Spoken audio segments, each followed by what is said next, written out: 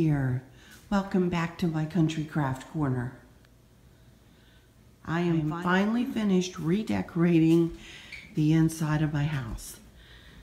As you all saw, and as I've been highlighting in the first three episodes of my Christmas Switch Out series, I have been working on this side of the house.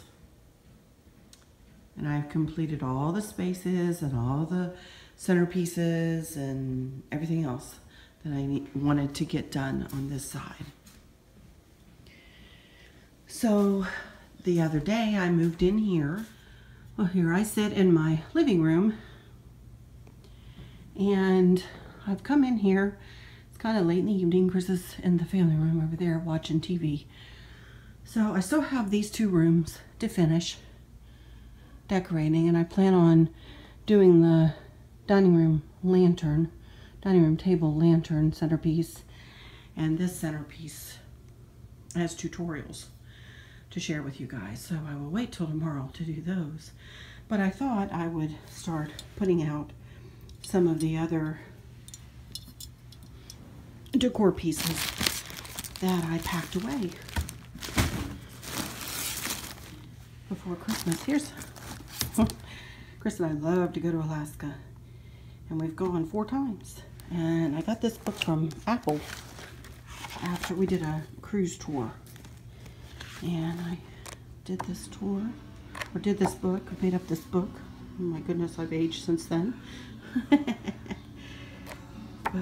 this is a nice little book that, this is kind of before I started blogging.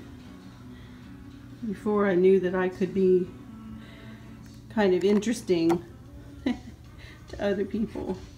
Anyway, this sits up on top of the secretary.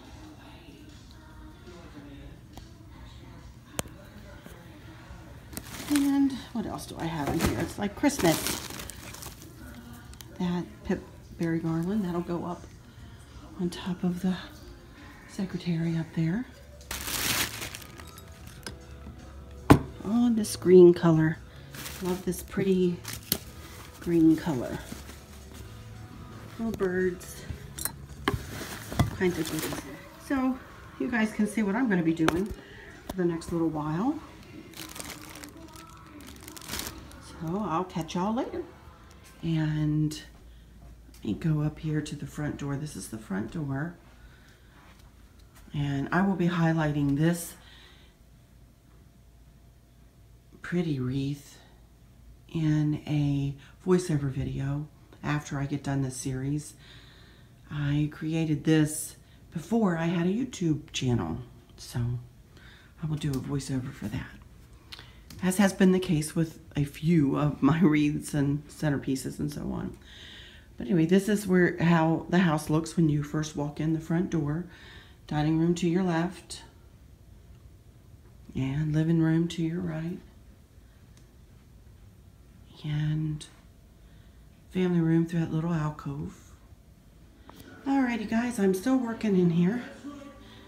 I have finished this, just the tabletop, just added the family pictures back in. Here's my dad and my precious Mona, who's no longer with us. And I'm going to save this centerpiece or this lamp centerpiece till tomorrow. Made that. It's one of my favorites there. And I've just been working a little bit in here. Still have stuff all over the floor. I'm going to do that lantern centerpiece tomorrow too. I made up that. Today I am going to be doing some lantern tutorials and I'm going to add this to episode, I think it'll be four of my Christmas Switch Out series. And these lanterns go in my living room and dining room. I'm doing something different that is going to go from now all the way through until next Christmas probably. I may add a few things to it, but to each arrangement, but basically this will be it for the year. Knowing myself, I'll probably want to, you know, switch things up a little bit, but I'm pretty tired right now. So I'm looking to find something that will have some lasting value through the year. so what I've chosen to do for my big lantern centerpiece, I got myself a new tablecloth for Christmas at Home Goods and it looks just like this. And I've purchased all of these pretty flowers to go around the lantern centerpiece. So we'll see how that works out. And then I will be doing the sideboard and my grandmother's lamp. I'll be doing around that centerpiece in much the same colors, but just a little bit differently. And then I'm gonna pull that green color into the living room and that's what will be around that little lantern centerpiece that sits on my mom's tray, which you will see in just a little while. So come create with me today and we're gonna make us some centerpieces. Be right back.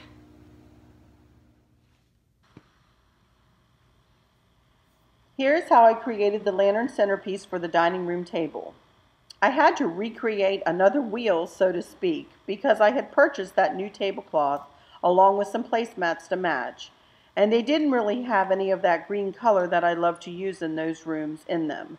But I knew that I could transition into that green easily as I moved into the living room. So I went with the soft creams and silvers for the centerpiece and for the centerpiece on the sideboard that sits around my grandma's lamp. I always build my lantern centerpieces on trays so that they can be easily picked up and moved if need be. And as I've mentioned before, I own two of the same trays and lanterns, and they are utilized to make my centerpieces for my kitchen and dining room tables. For this centerpiece, I've chosen to use a placemat that matches the tablecloth in the tray. I purchased these pretty silver mercury glass balls, and the placemat will help them to stay put and not roll around when the tray is picked up and moved. I've also decided to go ahead and use 3.5 by 9 inch Luminara candles inside of the lanterns because they are nice and tall and make a beautiful statement. The first thing that I do is to get the candles surrounded by a piece of pipberry garland all set up inside the lantern.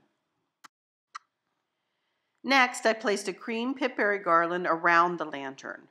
Not only does it look pretty, it also provides a nice base on which to add the remaining accent pieces.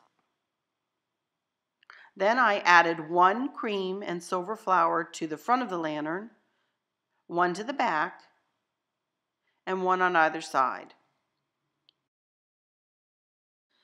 Next, I anchored the corners with those silver mercury glass balls.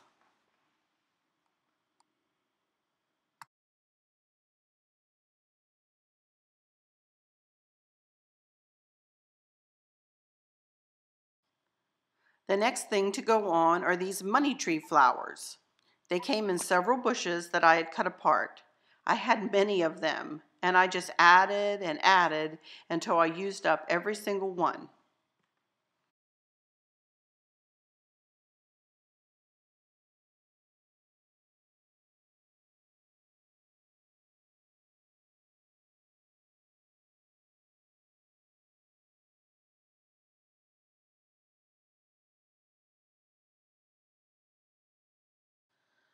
To finish off the base arrangement, I added some silver berry beads. They added just a little bling to an already soft and pretty arrangement.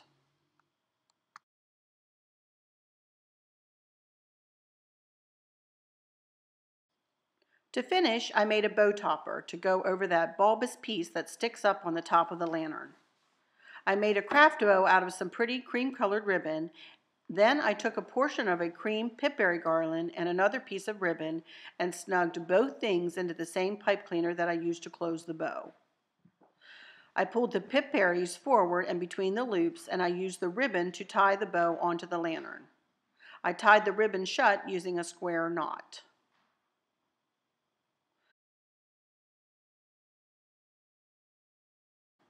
My gracious, this centerpiece ended up turning out to be so, so pretty. So soft, so airy, and it matches that tablecloth to a T. I am very, very happy with the end result. Alrighty, here I am in my dining room and my sideboard. And as most of you probably know by now, this lamp was my grandmother's.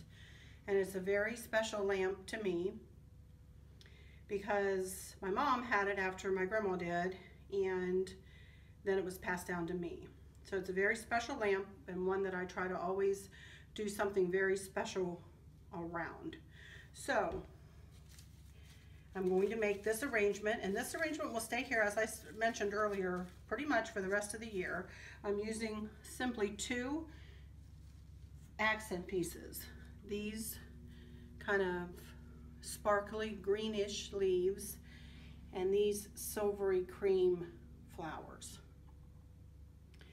So I'm just going to go ahead and start building. And as you all have seen with my cozy corners, I like from to build left, back, from the back to the front and then over toward the center or toward the right side.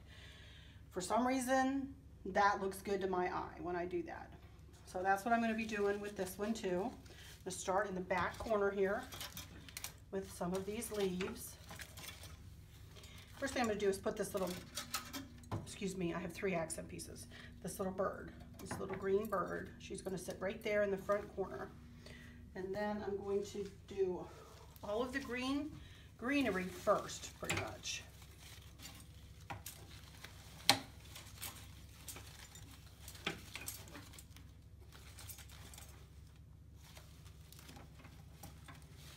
This little pipberry garland is going to disappear for us, but it's going to help to hold everything up and together. This green stuff came on one big bush and I cut it apart. Go ahead and add a flower here. See how I'm coming.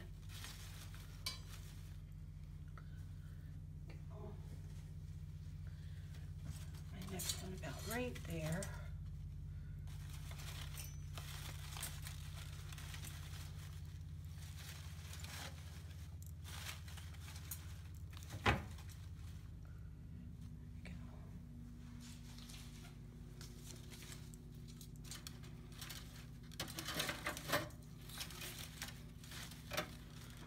hide the bird.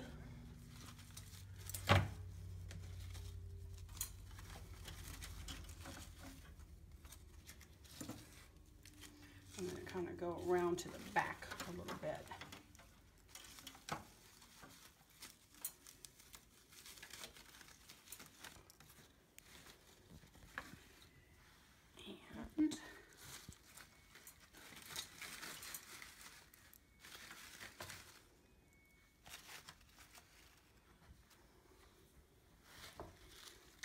Right in the front here. Spread out some of these green leaves.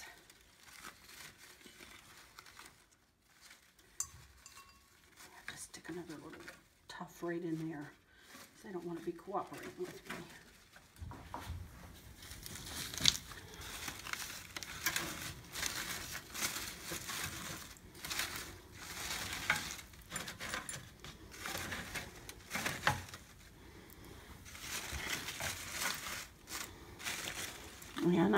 More behind there.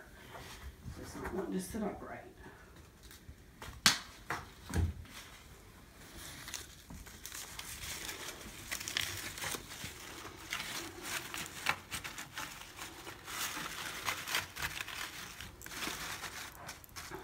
And match it perfectly.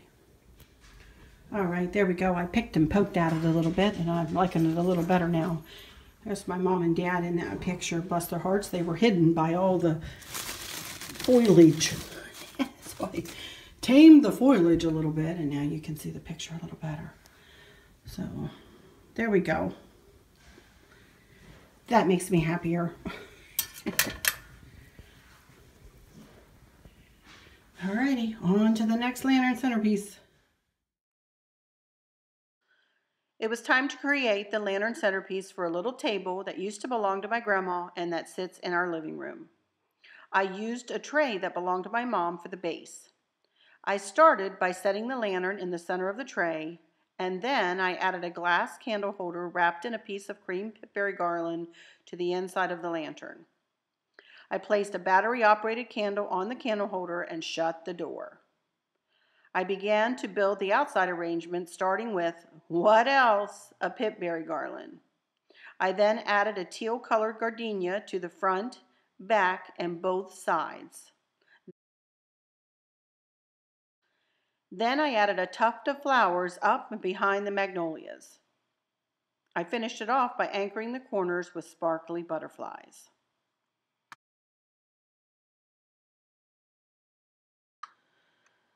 I knew that I wanted to bring that pretty green and a darker teal color into the living room. Even though the dining room's arrangements were more in the silver and cream hues, I feel that it flows seamlessly from one room to the next. My work in these rooms is complete. Here are a few pictures of a couple of other spaces in the living room. I've incorporated the greens and teals along with some silvers and whites into these vignettes. When looking from one room through the foyer to the other, it flows quite nicely. I am satisfied. These rooms always present me with a challenge because of the colors I've chosen to highlight. I'm used to working with the more traditional country colors in the burgundy, gold, and blue hues. So when I can actually bring these rooms to a cohesive feeling design, I give myself a little pat on the back for a job well done. Alrighty, you guys. I just wanted to show you where all of the Christmas bins come to rest and it's right here in my basement. Chris is going to hang all this stuff up. He said he's going to rig something up from the rafters up there and hang all of that up. But there are all of my Christmas bins. And here are all of my fall bins over here. I don't have as many fall as I do Christmas. I have some patriotic bins as well. And there are all of my extra wreaths. And things that really can't fit on a shelf.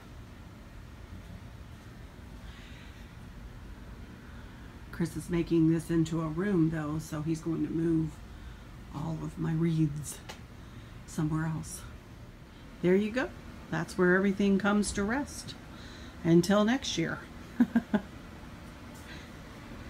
All right, back upstairs I go. Ready. I'm about at the end of episode four here. Just came back up from downstairs and I'm ready to close this episode out. Tomorrow I will start working on episode five. Give you a little sneak peek of one thing that will be in episode five I just did this little wagon decor today. And I'll be showing you how I did that. That was really easy.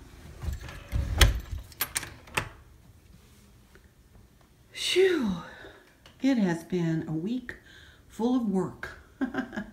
but once I got the bins put away, and out of the way and I was able to really concentrate on the redecorating, I was a happy girl. So I'll just say, until next time, y'all take good care. Bye-bye.